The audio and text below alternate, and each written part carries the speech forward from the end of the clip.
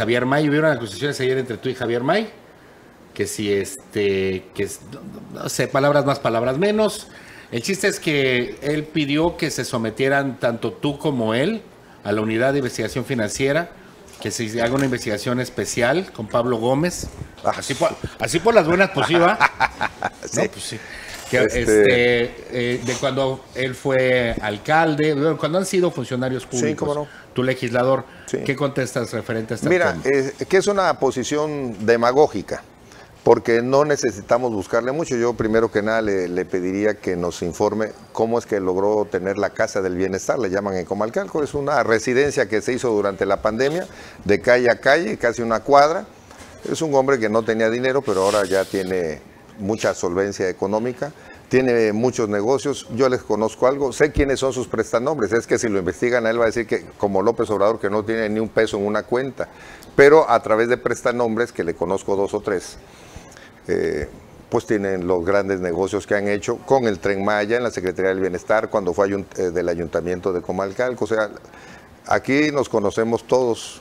Que, que yo no hable mucho en eso, bueno, pero que no me venga que es un santo y que lo pueden investigar porque está muy chueco el señor. Eh, de hecho, bueno, hasta ahí me quedo.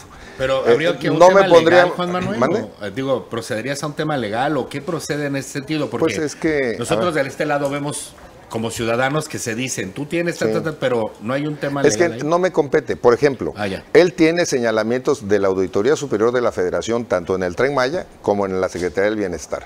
Pero si el presidente lo protege o lo protegen del gobierno federal, pues no le van a hacer nada. Eh, Entonces, ¿y yo qué puedo hacer? Si tú, bueno, ahí le pusieron 28 demandas hace ayer o antier por el Tren Maya, no, por la Secretaría del Bienestar, cerca de 3.600 millones de pesos, que es un dineral, eh, pero la Procuraduría Federal de la República, la Fiscalía General de la. República, no procede no hace nada, pues entonces hay una total impunidad. Me acuerdo que Obrador decía, mucho ha dañado a México la corrupción, pero más la impunidad. Bueno, pues estamos en esa impunidad total en México para los seguidores del presidente. Entonces, ¿qué ganaría yo poniendo una denuncia? Nada, porque ¿para qué me pongo en manos de Pablo Gómez? Que digo, lo conozco, ha sido compañero del PRD muchos años, pero me van a investigar a mí, no lo van a investigar a él. ¿sí? Y a mí no tiene mucho que investigarme, porque le escuché también que decía que 22 cuentas. Las tarjetas que yo tenga, que no son esas, deben ser menos, pero yo las pago y las pago de mi cuenta. O sea, lo que yo me gaste, ese es mi problema, porque es dinero lícito, es un dinero que yo este, pues administro de lo mío. Entonces no tengo nada que ocultar, sinceramente. ¿eh? Y, este, y que sí, que el rey del moche, que si cuando Ajá. fui presidente de la Comisión Metropolitana. Digo, para conocimiento de la gente, es una comisión que sí manejaba muchos recursos. No recuerdo cuánto ahorita. ¿En Ciudad de México o en Eh, dónde? sí, cuando fui diputado federal. Cuando fuiste diputado federal. Pero para que la gente lo sepa, y también aquí el, el- candidato del gobierno, los fondos que se manejaban para los estados eran negociaciones directas del secretario de Hacienda con los gobernadores.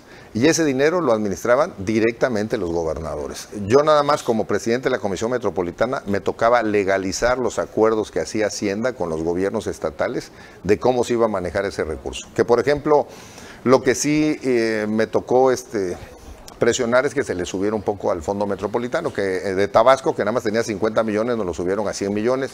Con eso se hizo la ampliación a Pomoca, por ejemplo, esa que vemos a Nacajuca, se hizo con esa parte del Fondo Metropolitano, se hizo una central camionera eh, cerca de Nacajuca con ese fondo. Ya el último año ya no supe qué hizo Núñez, bueno, no soy su supervisor ni su auditor, pero este, eso era lo que, lo que se movía, pero lo, lo manejaban directamente los gobernantes, ¿no? Entonces no, no tengo nada que esconder. O sea, te eso. pueden investigar ahí y no hay tema. No hay nada, nada que, son puras patadas de ahogado. Pero que puedes, a ver, pero el tema es que, que eres proveedor o puedes ser proveedor con quien tú trabajas desde tornillos hasta botantes y No, no, no, no.